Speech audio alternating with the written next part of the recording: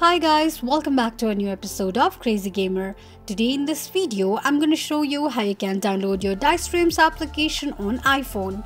Keep watching the video till the end. To download your Dice Dream application on iPhone, firstly go ahead and launch open your App Store.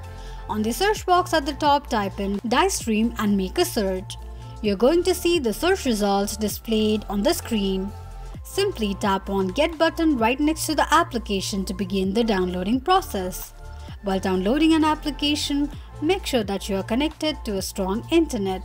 Once the application is downloaded, tap on Open button to launch the application.